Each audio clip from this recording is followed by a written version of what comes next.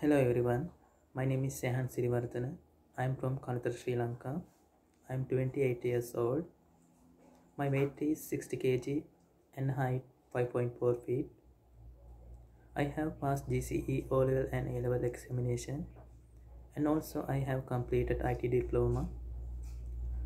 I have 4 years experience as a delivery rider in McDonald's United Arab Emirates. My strengths are I am honest, self motivated, quick learner, and hardworking. I would like to go Romania as a delivery rider, and also I would like to stay at least 5 years in Romania. Have a nice day. Thank you.